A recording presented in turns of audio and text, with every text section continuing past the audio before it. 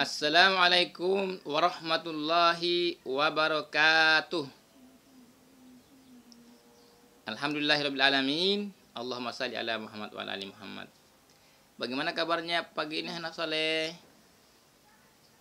Ustaz doakan mudah-mudahan kabarnya sehat walafiat, sehat jasmani dan rohani, serta dalam perlindungan Allah Subhanahu wa taala.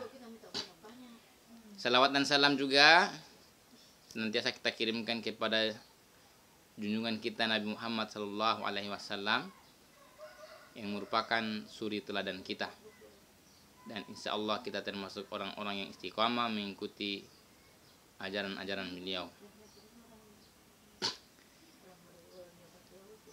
Salawat dan salam juga semoga tercurah kepada para sahabatnya, keluarganya, serta tabiin dan tabi serta semua salafus saleh hingga hari kiamat kelak.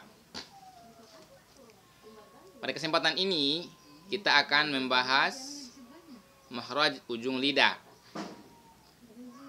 yaitu huruf zai dengan sin. Zai dengan sin. Baik. Sebelum kita mulai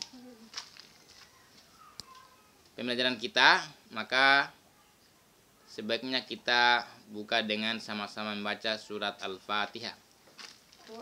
A'udzu billahi minasy syaithanir rajim. Bismillahirrahmanirrahim. Alhamdulillahi rabbil alamin. Ar-Rahmanir Rahim. مالك يوم الدين. إياك نعبد وإياك نستعين. اهدنا الصراط المستقيم. صراط الذين أنعمت عليهم غير المغضوب عليهم ولا الضالين.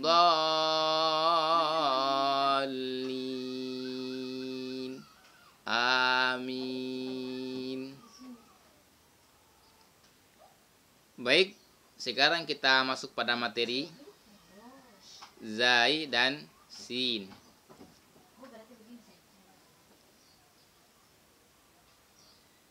Dia memiliki mahraj yaitu ujung lidah bertemu dengan dinding gigi seri bawah bagian dalam sehingga suara keluar melalui celah antara gigi seri atas dan bawah dan pangkal lidah tidak terangkat.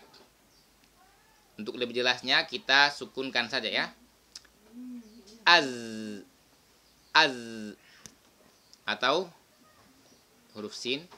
As as.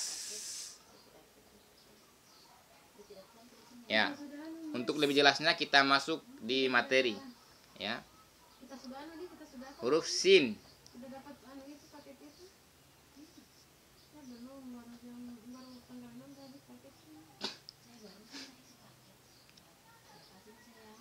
sin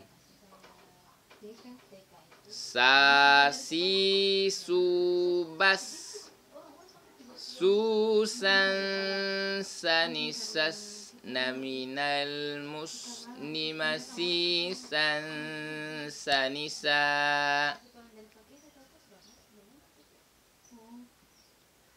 Saufa. Sin annasu latus alunna massat hum massat humu nusifat wa nafsin wa ma sawaha lil yusra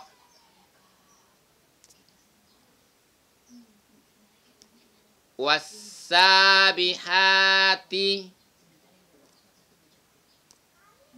عس عسى سبحا الذي يوسوس في صدور الناس. Fasawfa yuhasabu hisaban yasira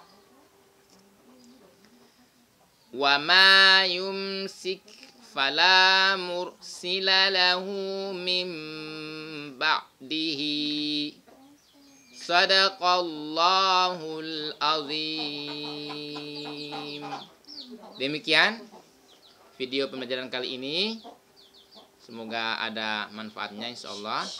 Kita tutup dengan membaca doa penutup majelis. Subhan Subhanakallahumma wa bihamdik asyhadu an la ilaha illa anta astaghfiruka wa atubu ilaik. Assalamualaikum warahmatullahi wabarakatuh.